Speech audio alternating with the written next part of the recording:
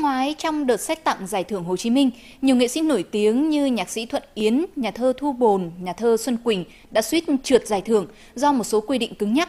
Hiện Bộ Văn hóa Thể thao và Du lịch đang lấy ý kiến để sửa đổi nghị định xét tặng Giải thưởng Hồ Chí Minh, Giải thưởng Nhà nước về văn học nghệ thuật để tìm cách hóa giải những bất hợp lý còn tồn tại và thực sự tôn vinh những nghệ sĩ đã cống hiến hết mình cho sự nghiệp văn hóa nghệ thuật nước nhà.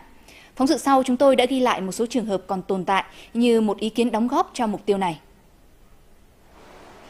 Nghệ sĩ Văn Hà,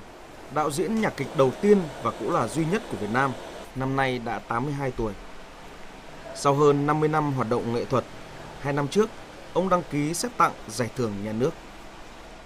Dù đã được Hội đồng cấp cơ sở của Hội Nhạc sĩ Việt Nam nhất trí với 100% phiếu bầu, nhưng hồ sơ của ông đã không được Hội đồng cấp cao hơn đưa vào danh sách để bỏ phiếu.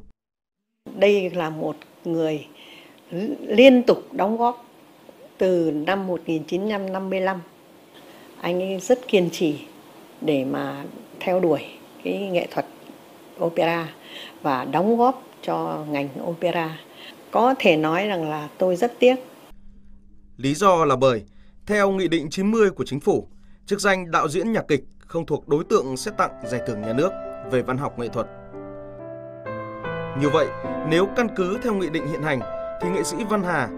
người được coi là đặt nền móng cho nền nhạc kịch, kịch hát Việt Nam, sẽ không có cơ hội nhận giải thưởng cao quý. À, tất nhiên, tôi nói ở đây thì không phải chỉ cho tôi, mà tôi nói cho cả một cái dòng, cái gọi là Hàn Lâm Bác Học. Thật sự, tôi cảm thấy cũng có những điều hơi buồn, là bởi vì rằng chúng ta thường nói để trân trọng một cái dòng hàn lâm bác học nhưng mà sự thực ra thì cái dòng hàn lâm bác học này cũng không được quan tâm lắm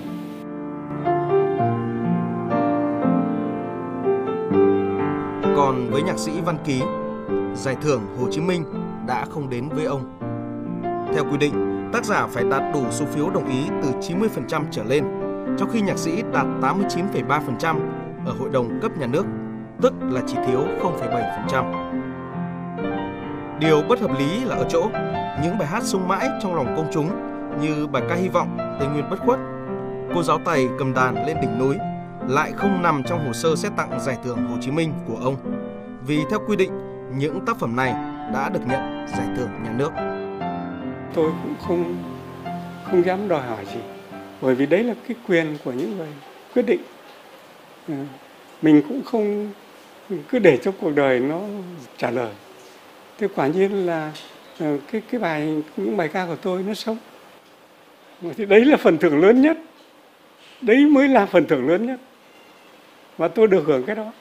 tôi nghĩ rằng đấy cũng đã là may mắn, đã là hạnh phúc của người sáng tác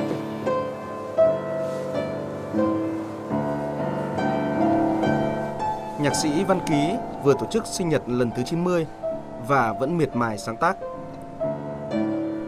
Nhưng ông nói rằng đây là lần đăng ký xét tặng giải thưởng cuối cùng của cuộc đời. Bởi ông không chắc mình có sức khỏe để chờ đến kỳ xét tặng sau.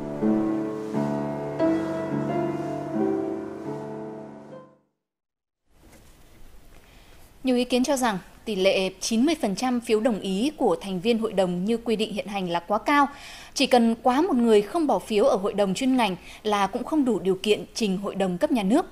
Hoặc như quy định về số lượng huy chương, giải thưởng trong tiêu chuẩn xét tặng cũng đang cứng nhắc vì có những tác phẩm xuất sắc thế nhưng không có giải thưởng do ngành không tổ chức được hội thi, nên tác giả tác phẩm cũng phải chịu thiệt thòi.